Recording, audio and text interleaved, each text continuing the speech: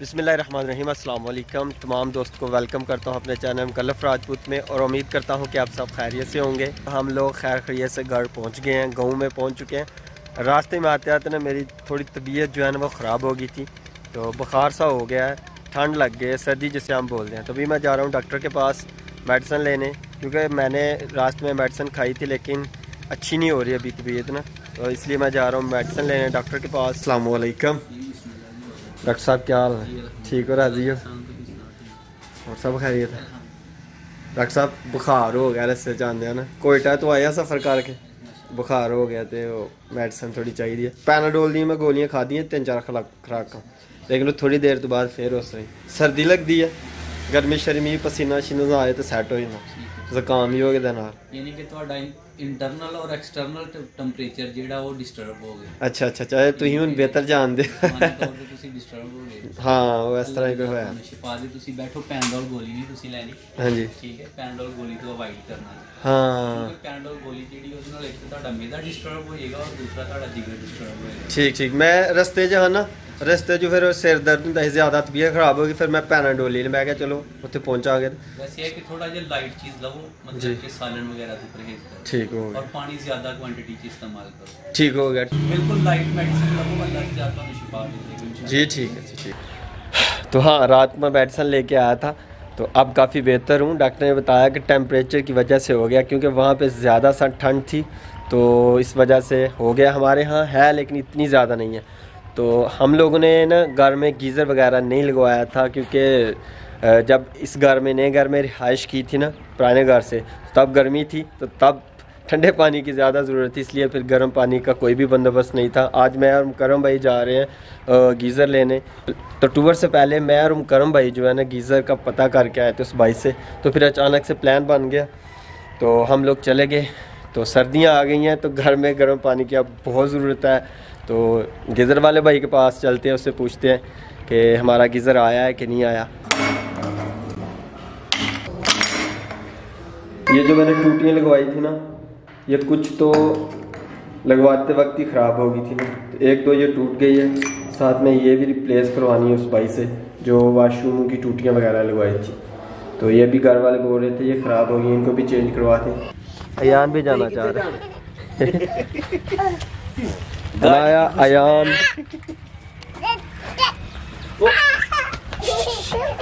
Doggy तो जब भी घर से कहीं तो उनके लिए निकलते हैं तो बच्चे जो है वो सारे के सारे पीछे आने की कोशिश करते हैं। अभी अयान थी, अनाया, उनको बड़ी मुश्किल से घर जो है ना भेजा है। अभी मैं मुकरम भाई निकल रही है।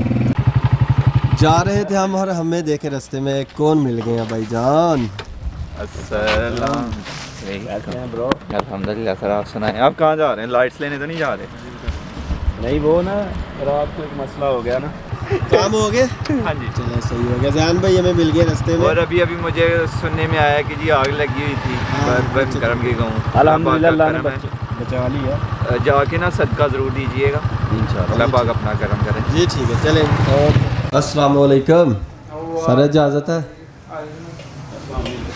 सर समान दस्या ही ਤੁਹਾਨੂੰ ਸਾਡਾ बहुत देर चक्कर लग गया रिप्लेस करना थोड़ा यार तो इस शॉप से हम लोग लेके गए थे अपने वाशरूमों के लिए जो बेसन वगैरह और टूटियाँ तो भाई को बताया था मैंने पहले भी थोड़ी सी रिप्लेस करवानी है वो ख़राब निकली है तो भाई ने बोला कि ले आए तो एक तो ये रिप्लेस करवानी है वो करवा लेते हैं भाई ने चेंज कर दिया ये दे दिए नए वाली ना शुक्रिया सर अभी मैं और मुकरम भाई जो है ना वो आए उस शॉप पे जहाँ से गीज़र का पता करके गए थे टूर से जाने से पहले। तो मुकरम भाई भाई से बात कर रहे हैं कि कौन सा जो गीज़र है वो अच्छा रहेगा। तो अभी देखते हैं। अस्सलाम वालेकुम ठीक है। थोड़ा टाइम दो गीज़र कौन सा अच्छा रहेगा? बिजली वाला का गैस वाला गैस वाला गिजर आजकल जो चल रहा है ना वही बेहतर है। हाँ नहीं वो क्या मतलब किस हिसाब से आप समझ गए?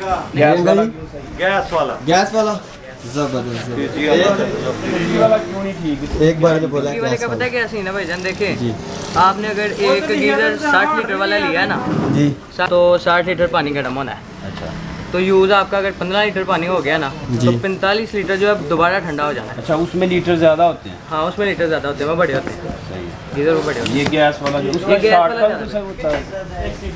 शॉर्ट होने का भी खतरा होता है। शार्ट शार्ट होने का तो नहीं खतरा होता लेकिन उसका ये होता है कि थर्मोस्टेट अगर बगैर पानी के चल जाए तो वो ख़राब हो जाता है। बहुत जल्दी ख़राब हो जाता है। इसका ये होता है कि इसने तब ऑन होना है जब आपने टूटी को ऑन कर ये गीज़र है? ये ये कितने लीटर का थोड़ा ये आठ लीटर का इसका भी वेट करना पड़ेगा पानी गर्म होने के लिए। नहीं इसका बस उतना ही वेट करना पड़ेगा कि जितना पानी आपके गीजर के आगे पाइप के अंदर है ना जब वो निकल जाएगा गीजर के अंदर से जो पानी गुजर के आना है वो गर्म हो हाँ जी गीजर के आ गया हाँ जितनी वो थोड़ा सा पाइप आ गया ना वो ठंडा पानी आएगा भाई कह रहे हैं कि जो बिजली वाला ने एक जो। उसका ये है कि उसमें बहुत ज़्यादा पानी गर्म होगा तो जितना आप इस्तेमाल करेंगे उसके अलावा वो ठंडा हो जाएगा यानी कि खर्चा ज़्यादा है बिजली जब लाइट ना हो तो वैसे भी वो पानी नहीं गर्म होगा फिर। लाइट ना होगी तो पानी नहीं गर्म होगा। इस वजह से फिर गैस भाई का कहना ये है कि जो गैस वाला सही है। गैस वाला ठीक है। सबसे बेहतर तो यही है गैस वाला आजकल जो चल रहे हैं। अच्छा चलो, बिजली ठीक में कम से कम लीटर वाला कौन सा? बिजली में सबसे कम लीटर वाला पंद्रह लीटर वाला गीजर है वो पड़ा हुआ है सामने वो देख लें आप। ये वाला ये बिजली वाला हो गया। प्लास्टिक का नहीं है ये अंदर से लोहे का है। अंदर इसके अंदर जो ड्रम है वो लोहे का है बाहर से ये प्लास्टिक है। हाँ जिसमें पानी जाना ज़ाहिर है वो पानी वाला कितने का? वो कितने का? वो बारह हज़ार दो सौ का पंद्रह लीटर वाला है। ये ये आपको मिल जाएगा ग्यारह हज़ार दो सौ ये ग्यारह हज़ार अच्छा इसके अंदर ना इसने पानी स्टोर नहीं करना। जी। इसने पानी स्टोर नहीं करना इसके अंदर जब- से जब आपने टूटी ऑन करनी है तो पानी गर्म दे देना। अच्छा। जब टूटी बंद होगी आप टूटी को बंद करेंगे तो पानी पीछे से बंद हो जाएगा सिलेंडर से गैस आनी बंद हो जाएगी गीजर ऑफ़ हो जाएगा। चले ये ऑटोमेटिक है। इसका फ़ंक्शन जी भाई फिर ये ठीक है। अभी देखते हैं। गैस वाला जो गीज़र है वो फाइनल हो गया। भाई ने कहा कि गैस वाला ठीक है क्योंकि ये खुद भी अपने घर में इस्तेमाल करते हैं। तो अभी ये डन हो गया। एक दफ़ा इसको चेक कर लेते हैं भाई चेक करवा एक सेकंड भाई मैं डालता हूँ ये गीजर है। भैया ऐसे रख दो। हाँ रखते हैं कोई इशू नहीं है। तो ये जी डन हो गया। गीज़र इसकी बहुत ज़रूरत थी क्योंकि मौसम जो है वो बिल्कुल चेंज हो गया। तो अभी गर्म पानी की जो है ना वो ज़रूरत पड़ती बच्चों है को नहलाना होता है। ऐसे ही। ये जी हमारे बहुत ही मोहतरम दोस्त हैं। वो इस टाउन में इनकी दुकान है। हाँ जी। पीको हाँ जी। पीको, पीको करते हैं। ये- कपड़े वगैरह। करीबी गाँव है वहाँ के हैं। न्यू फ़ैशन ज़रिया उस। पुराना बाज़ार किंगरा जो है वहाँ पे इनकी शॉप है। काफ़ी देर से आप काम कर रहे हैं ना? जी कम कम से कम हो गए हैं तीस बत्तीस साल हमारी दुकान हो गए हैं। माशाल्लाह माशाल्लाह। ये उमैर भाई हैं। तो इनसे अभी हमारा काम जो है ख़त्म हो गया। काफ़ी सारी चीज़ें हमने ले ली हैं। ऐसे ही हम करम भाई ऐसे ही बिल्कुल। तभी चलते हैं घर और जाके उनको फिट कराते हैं। और ये एक लाइट लिया मैंने अपने रूम के लिए क्योंकि मेरे रूम में जो है ना वो लाइट कम थी।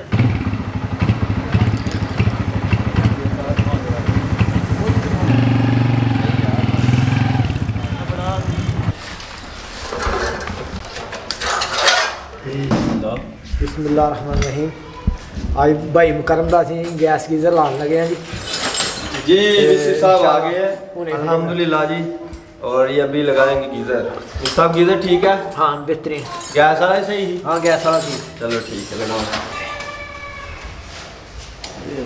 ਮਾਰ ਕਰ लास्ट सिलेंडर तैयार है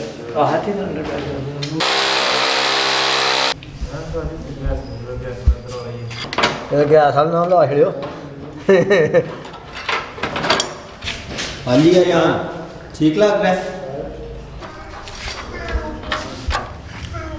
कोल्ड वाटर ये हॉट वाटर और ये गैस वाला input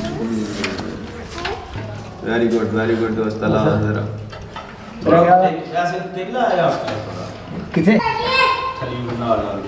ना लग जाए थले करा फिर ला